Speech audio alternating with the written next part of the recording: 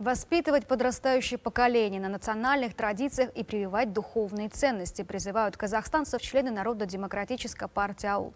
Свои идеи активисты сегодня озвучили в Кокшетау.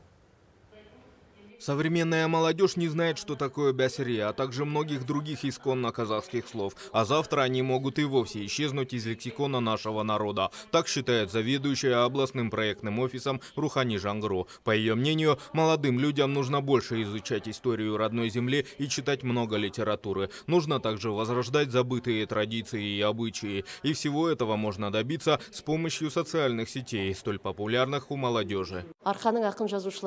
Мы выпускаем аудиокниги с произведениями литераторов нашего края. Все это нацелено на популяризацию художественной литературы среди молодежной аудитории. Помимо этого, в рамках проекта «Каламьер Хазанасы» создали электронные версии 20 книг наших авторов и запустили их в интернет-портал «Адибиет». А поэт и член партии Аул Давлеткерей Капула, специально приехавший на эту встречу из столицы, считает, что духовность человека зарождается в семье. Если родители чтят национальные традиции и ценности, то и дети будут уважать свою культуру и язык.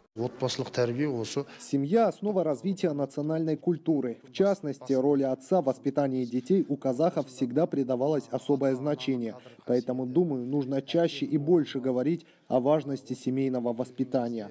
Национальные традиции сохранились в основном в сельской местности, поэтому нужно больше уделять внимание развитию аула, считают участники встречи. Адильхан Сахари, Дамир Берекула. Итоги дня. Кокшетау.